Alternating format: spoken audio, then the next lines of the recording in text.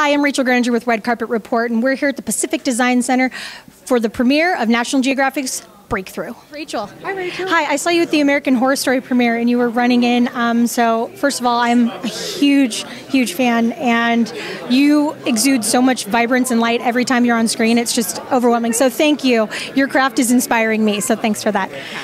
And um, what was one of the things that you were most interested about when you found out? Did you get to pick your episode? I guess. I guess I'll start there.